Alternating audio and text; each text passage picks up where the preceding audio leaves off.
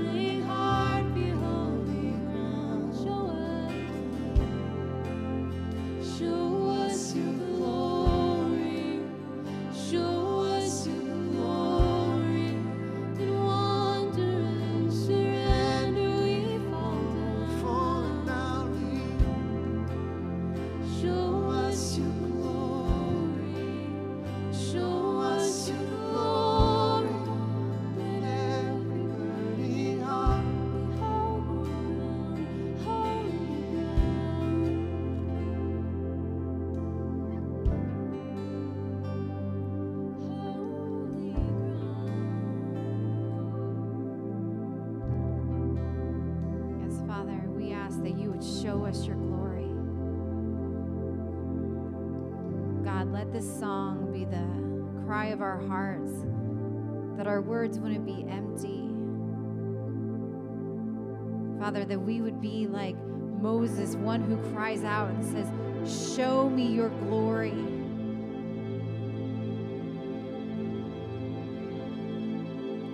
Before I get into our first intersection, intercession portion, I want to welcome everyone to the 7 to 9 worship set. We mingle prayer and worship together. And I want to let you know that we do have an open mic, which means that we encourage you to come and bring your prayers so that we can agree with you. And if you have a prayer on your heart that you would like to release from the microphone, you can come and sit in one of these blue chairs. And I'll let you know when a good time to come up and release your prayer is. I'm going to be praying this evening for the Church of St. Louis, the Bride of Christ, to have greater revelation of the love of Christ and that we would fully turn to Him out of the book of Revelation, chapter 2.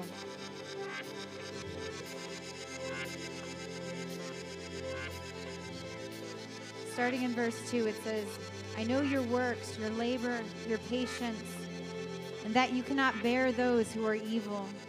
And you have tested those who say they are apostles and are not, and have found them liars. And you have persevered and have patience and have labored for my name's sake and have not become weary.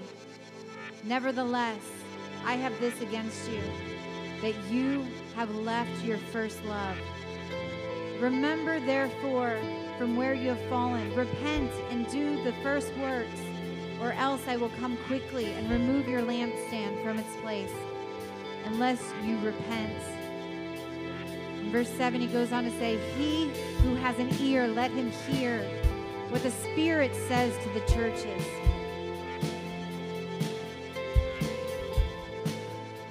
So, Father, this evening, we lift before you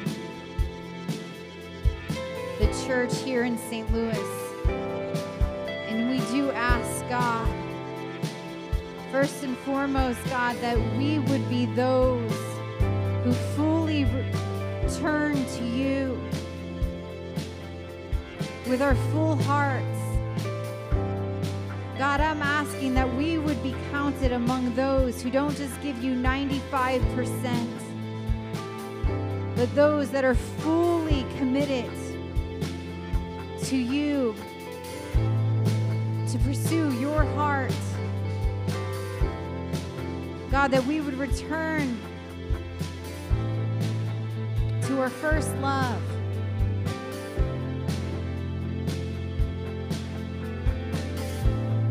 Father, I'm asking that we would have ears to hear in this hour your call to returning. God, that we would not be complacent in our pursuit for you.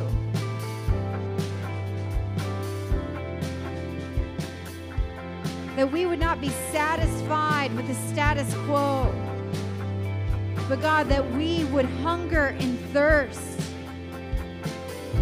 to become righteous like you are righteous. That we would desire to hear your voice. God, that we would be a company of people who lean in, who desire to come close to you, fully abandoned, fully engaged, and fully in love. I'm asking God, give us ears to hear your call to this return. In Jesus' name.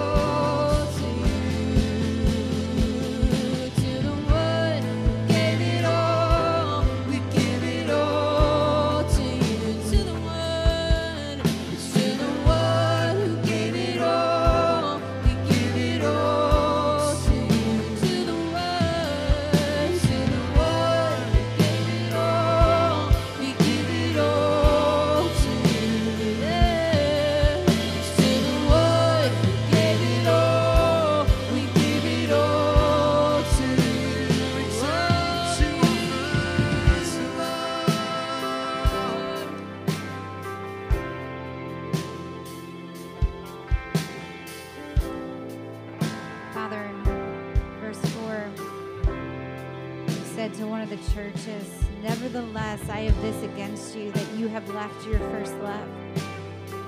God, I'm asking on behalf of all those believers in St. Louis whose hearts once burned with zeal for you, but the cares of this world and just the heartache and disappointment in life. God, maybe they've been those that have been standing on a promise or standing upon your word and knowing that you're faithful, but God, they've gone, they've grown weary because the days and the months and the years have passed. God, I'm asking for those that have fallen away, not because they've gone to pursue other lovers, other things, but because of heartache and pain and disappointment. God, I'm asking that you would meet them where they are at. God, for believers all across the city, that their hearts would once again burn with passion and zeal. That they would remember, remember, God, the love of their youth, of their, when they first encountered you and were running hard after you. God, I'm asking that you would reignite that flame reignite your great love, God. Let them hear you calling them once again to fully return.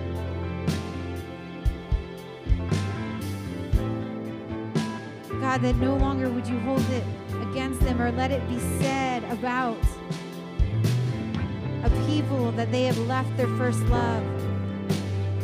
But let them hear the invitation and the calling to return fully abandoned to you once again.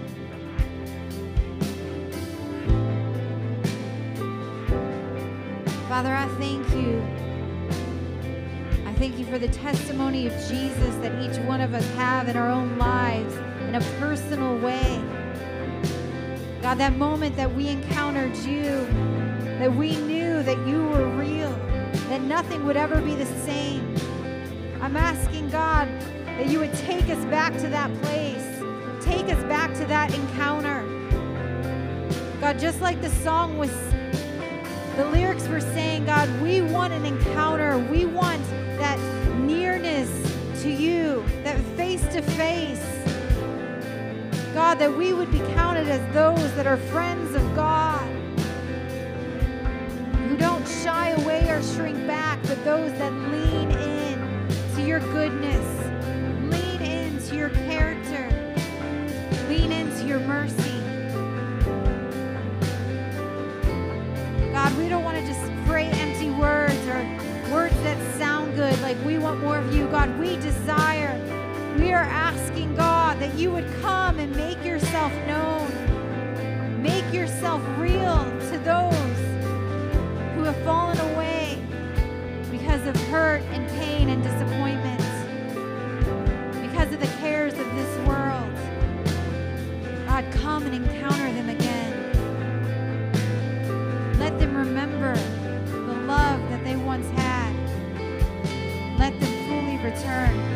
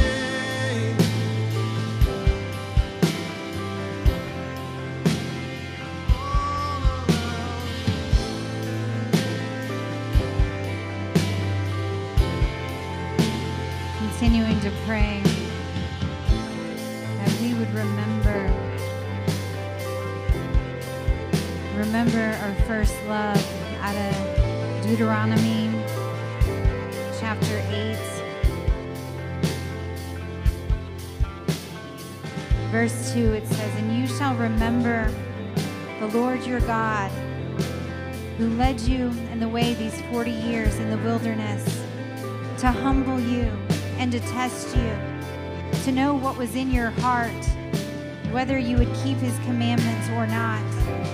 So he humbled you and allowed you to hunger and fed you with manna which you did not know, nor did your fathers know, that he might make you know that man shall not live by bread alone but man lives by every word that proceeds from the mouth of the Lord.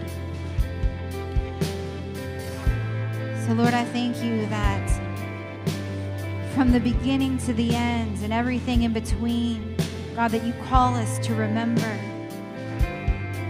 To remember and to turn to our first love. And God, here you said that we should remember the Lord our God.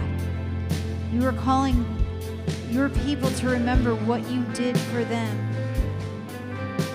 So, God, I'm asking for that same invitation to remember,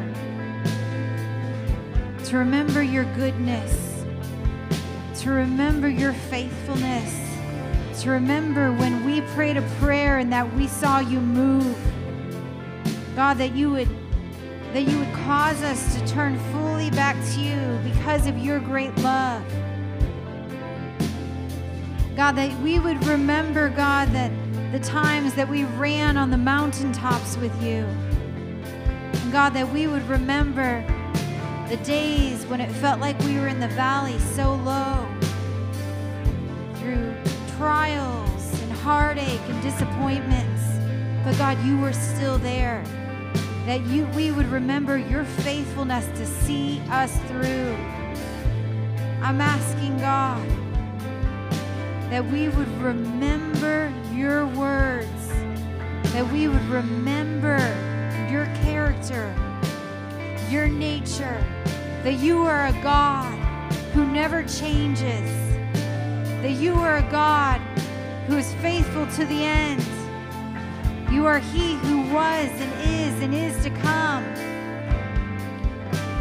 You are a God who showed Moses your glory when he cried out and said, Show me your glory, God, you hid him in the cleft of a rock and you proclaimed who you were. A God full of compassion, kindness. It's who you are. So I'm asking God again that we would remember, remember your nature. Remember your love. Remember who you are in every season of the soul, that you are good and you are faithful to see us through. Jesus' name.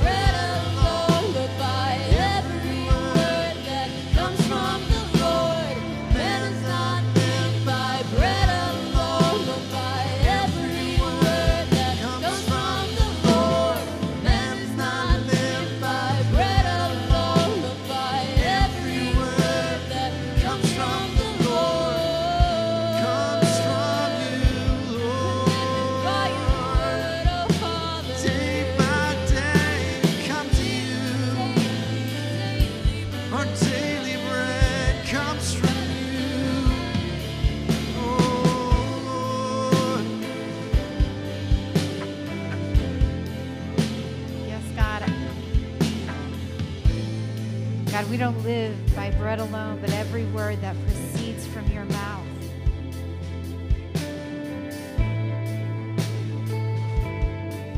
So, God, I ask that you would forgive us for being satisfied with normal bread, just normalcy of life. God, when you are the one who gives life, the author and the creator.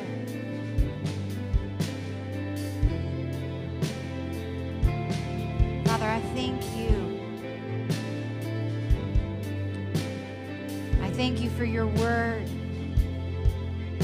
I thank you that it displays your character and your nature.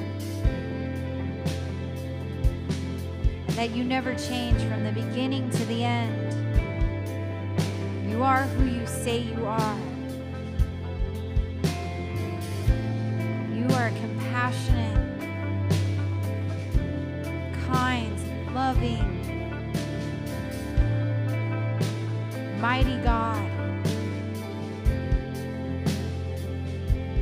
And so, Father, I'm asking that, like it says in Revelation 2 7, that we would be those that have an ear to hear what it is that you're saying.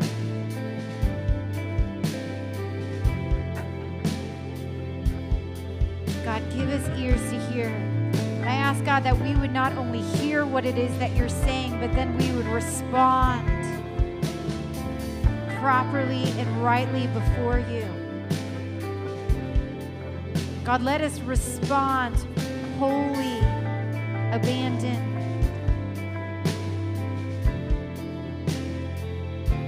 You said, He who has an ear, let him hear what, what the Spirit says to the churches. God, and you said if, if in Revelation, time and time again, seven different times, God, that if they don't hear, that their lampstand would be taken away. So I'm asking God that we would actively be listening to what it is that you're saying in this hour. That we would be pursuing you, actively returning to our first love. God, that we wouldn't just kind of shrug it off and say, I never left, but God, that we would be those who say, Search me and know me, O Lord. God, that we wouldn't just say, Oh, that's the people down the street that left their first love, but we would say, God, is there a way in which I have left you? God, search me and know me. See if there be any compromise, any wicked way, any complacency within me, any area I'm not submitting to you. God, I'm asking that our heart's cry would be to fully return, to ask you to examine us, to search us. God, forgive us for thinking that, that that's for someone else that's turned away when God, there might be areas in our own life that we've compromised and turned. So I'm asking, Lord,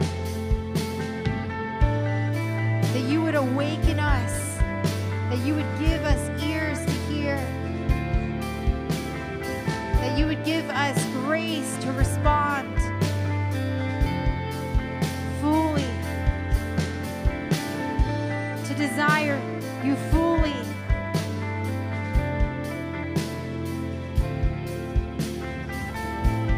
So, God, come and do what only you can do.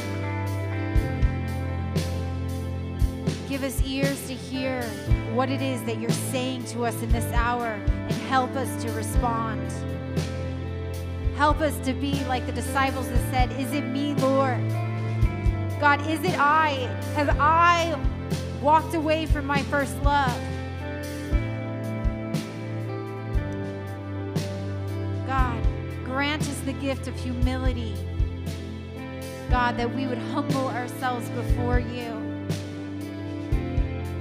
Search us and know us, O Lord.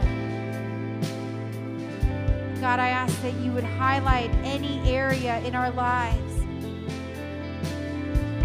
that we've turned away from you that you would help us, God, hear your voice calling us from where we have fallen, calling us to return.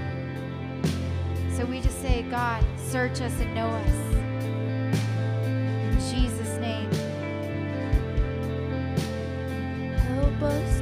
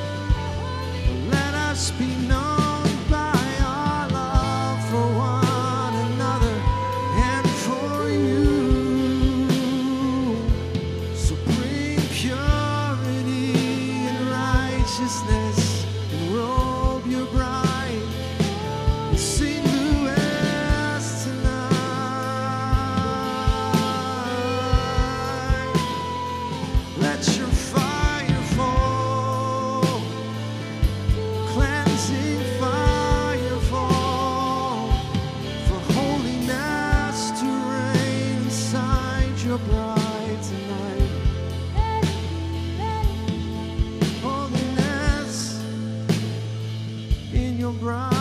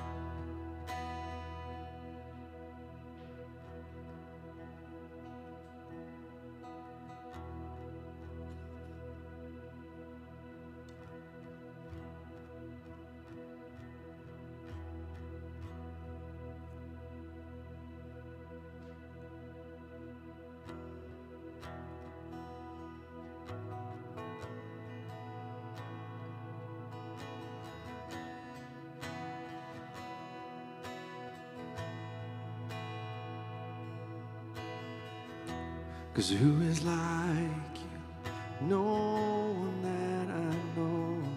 I could search all the earth and not find one. And there's no shadow that you won't be found in. Your face, it illuminates the deep Cause who is like you? No one that I know. I could search all the earth and not find one. There's no shadow that you won't be found. Your face, it illuminates the deep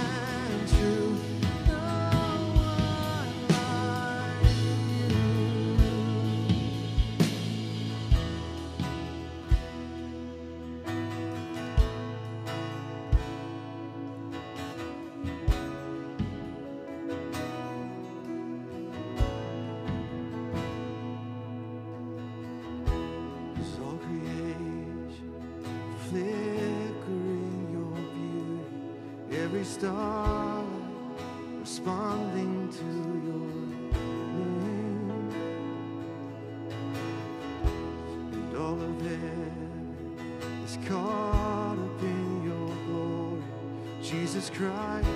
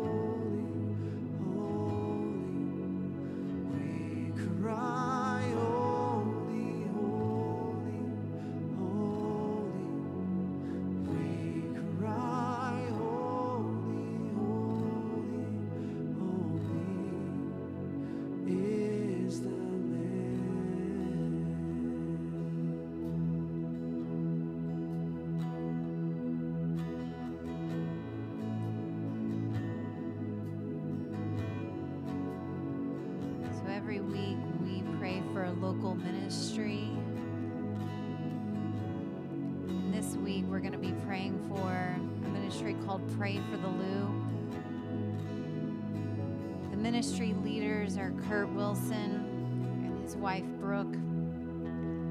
Pray for the Lou is a ministry that has a vision to ignite prayer in the Church of St. Louis and to bring unity to believers and strength to our city. They're going to be embarking in a couple weeks on a 50 hour worship and prayer initiative down in the city. And so their prayer requests are that Jesus would be exalted during the 50 hours of nonstop worship, prayer, and reading of the Word, and that the glory of the Lord would cover St. Louis as the waters cover the sea. And for unity and overflow of the Spirit for those that are leading and serving during the event. Third prayer request is that the gospel would go forth with boldness and power, and that many supernatural encounters would happen as a result. So, Father, we we stand with Kurt Wilson and pray for the Lou. God, we thank you for what you've done through that ministry. We do, we stand with them and we ask, God, that you would not only be exalted during these 50 hours of nonstop worship and prayer reading of the word, but God, that your glory would, would cover St. Louis. God, that unity and the overflow of your Holy Spirit would be evident during these 50 hours and beyond. God, that this would not just be an event, but God, that this would be a catalyst unto something greater in you and for you. And God, we just say yes and amen to the cry of their heart that the gospel would go forth with boldness. God, we thank you that you are a God who can transform a city in a day. So we're just asking, God, that you would encounter people here in St. Louis, those who know you and those who have never truly encountered you before. And God, we ask for a hedge of protection to be around Kurt Wilson and the Pray for the Lou team. We ask just that every need would be met financially, human resources, just God, that you would go before them and work out all the details. We just speak a blessing upon Kurt and what you're doing with Pray for the Lou. In Jesus' name. And Father, we thank you for this opportunity to partner with your heart this evening, to sing and declare your goodness. God, we thank you for each and every single person that has come through those double doors throughout the day. We thank you for everyone that's engaged online.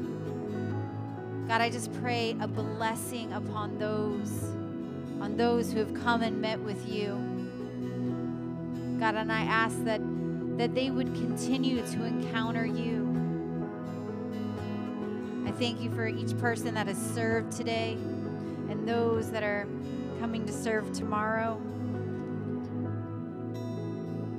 God, we just ask that that as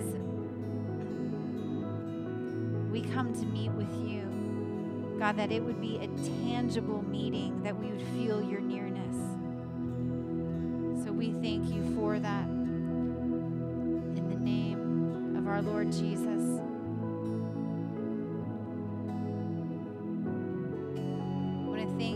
All for coming. The prayer room here. We are open 9 to 9 on Wednesdays. So this concludes our worship for the day.